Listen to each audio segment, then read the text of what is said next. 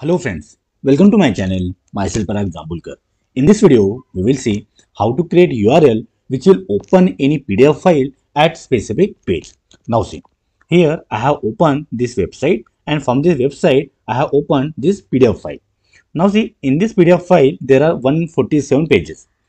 If I use this URL, so it, it will open this PDF file, but it will start, it will highlight this first page, right? See, suppose if I copy this and if I open in some other tab so it will open this PDF file but it will start from the first page right?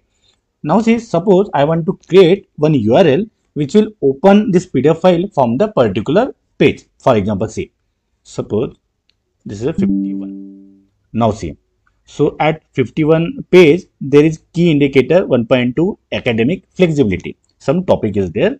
So it will be at page number 51 Suppose I want to create one URL which will open this PDF file from the 51 page number. Now see how to create this URL. I have refreshed this web page and it has opened from the first page, right? Now see, I am copying this URL, Control C. Now see, you can write any HTML code. So here I am creating blog post, but any, any, any web page you can use it. Now see, here I am giving some title, sample page. Now see, we'll open it in HTML view. So we'll zoom it. Okay. To create any hyperlink, we use anchor tag, right? So like this we use. Then href. Here we give this link. Then suppose I want to open in another tab. So I can give target here underscore blank. Right?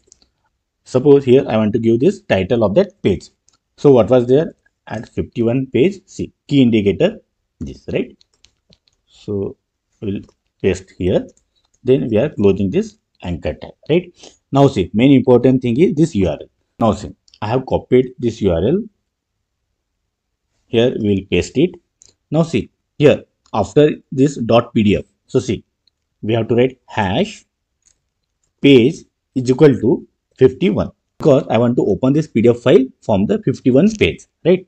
See i'm saving it. So I am publishing it. So see, I will open it in compose view.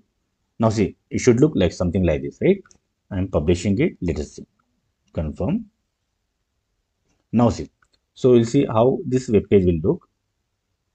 Okay. So I have created this web page and here we have this link, right? Key indicator 1.2 academic flexibility. Now see, when I'm clicking here, so see, this PDF got opened and directly we got this 51 page. The PDF got opened from the 51 page. So in this way, we can create URL which will open PDF file from the particular web page. So simple thing what we have to do in this URL, just we have to add one thing. So see, this is actual URL. In front of that, we have to add hash page is equal to and what is the page number. Suppose I want to open page number 40. So this URL now it will open this PDF file and it will directly open page number 14.